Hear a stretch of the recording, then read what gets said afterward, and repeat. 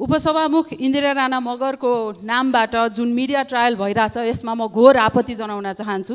यदि साँच्चै नै गर्ने हो भने पहिला बुझौँ यो पद्धति बनाउने हो भने यहीँ सभामा छ नि होइन? सदनबाटै सडकबाटै यो एउटा अमुक मान्छेलाई भिसा चाहियो भनेर पुत्ला जलाउँदै आमसभा गरेको यही यही यही ठाउँबाटको एमपिजहरूले होइन यदि हामीले आचरणको कुरा गर्छौँ भने ल गरौँ। सबैजनाको आचरण हेरौँ। सबैजनाको लेटर प्याडबाट के के निस्किया छ हेरौँ र साँच्चै पद्धति बनाऊ। Is this really an impeachable offence what is this तपाईँहरूलाई चित मन लाग्यो मिडिया ट्रायल गर्यो तपाईँहरूलाई मन लाग्यो। मानव तस्करी भन्ने जस्तो ठुलो आरोप यस्तो आनन्दका साथ तपाईँले डिक्लेयर गर्नुभयो। डिक्लेयर गर्नुहोस् न त भुटानी शरणार्थी कसले गरेको हो भनेर। त्यो आँट छ।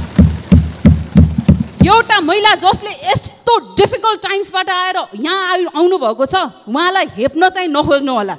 साँच्चैकै पद विधि पद्धति बनाउन चाहनुहुन्छ गर्नुहोस्। एक वर्ष अगाडिदेखि पत्र हातमा बोकेर बसिराख्नु भएको रहेछ त कुन बेला ठोकौँ भनेर? यो सभामुख महोदय यो साँच्चैकै छानबिन गर्ने भने गरोस्।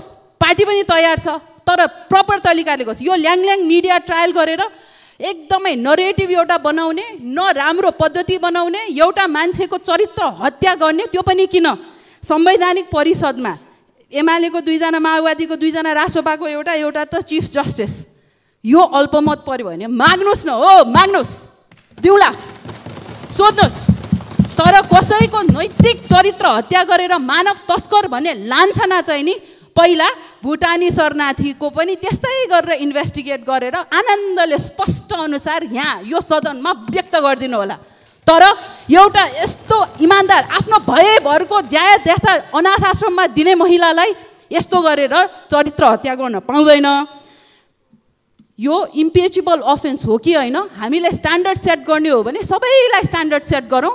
विधि पद्धति बसाउने हो भने सबैलाई विधि पद्धति बनाऊ हामी त्यसको लागि तयार छौँ। तर चरित्र हत्याको लागि पटक्कै तयार छैनौँ।